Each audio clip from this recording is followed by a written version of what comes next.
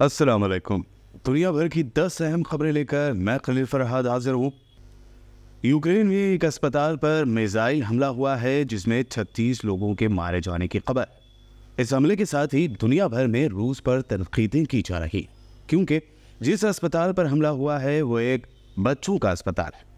दूसरी जानब रूस ने इन इल्ज़ाम को मुस्तरद करते हुए कहा है कि उसने यह हमला नहीं किया, बल्कि यूक्रेन के एयर डिफेंस मिसाइल के टुकड़े से अस्पताल की इमारत को नुकसान पहुँचा है।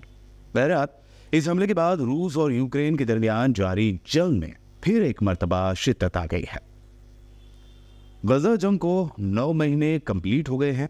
ऐसे में एक इसराइली न्यूज़पेपर ने सेंसरी खेज इंकशाफ करते हुए इसराइल की पोल खोलने का दावा किया है।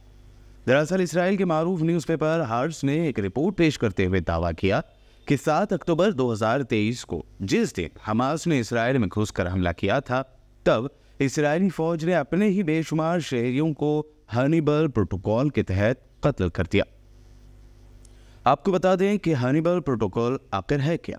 दरअसल ये एक ऐसा प्रोटोकॉल है जिसके तहत इसराइली फौजियों को हुक्म दिया जाता है कि वह दुश्मनों की जानब से हिरासत में या अगवा किए जा रहे अपने ही शहरियों को भी दुश्मनों के साथ ही इसलिए कत्ल कर दे क्योंकि दुश्मन अगवा किए गए इसराइली शहरियों के बदले किसी किस्म की सौदेबाजी ना कर सके।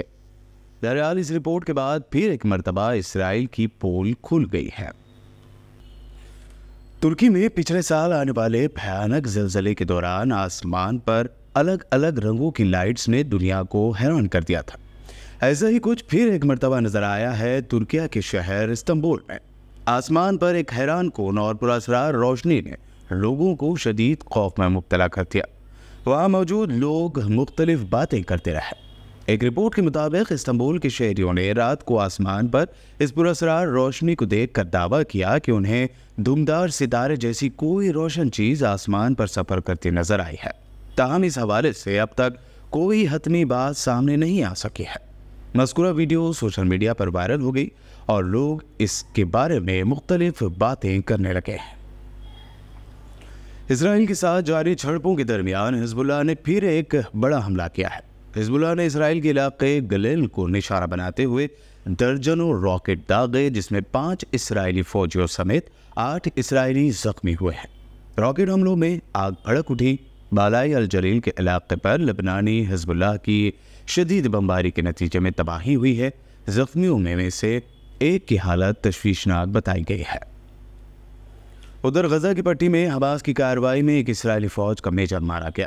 इसराइली मीडिया हार्ट्स के मुताबिक हलाक फौजी की शनाख्त जला इब्राहिम के नाम से हुई है। 25 साल मेजर इब्राहिम का ताल्लुक नॉर्थ इसराइल के दरोज गाँव से था। वो 601वें कॉम्बैट इंजीनियरिंग बटालियन का कंपनी कमांडर भी था। इब्राहिम के ख़ानदान के ज़्यादातर अफराद इसराइली फ़ौज में अफसर हैं। रूस के मुख्तलिफ़ इलाकों में शदीद गर्मी से शहरी बिलबिला उठे और मुल्क भर में नहाते हुए डूबने के अड़सठ वाक़ात रिपोर्ट हुए, जिसके नतीजे में सात बच्चों समेत उनचास अफराद की मौत हो गई है। रूस में गुजशत हफ़्ते सौ सालों से ज़्यादा अरसे बाद सबसे ज़्यादा गर्म दिन रिकॉर्ड किया गया था, जिसमें साल 1917 का रिकॉर्ड टूट गया था और रूस के शहरों में टेम्परेचर 35 डिग्री सेंटीग्रेड से तजावज़ कर गया था।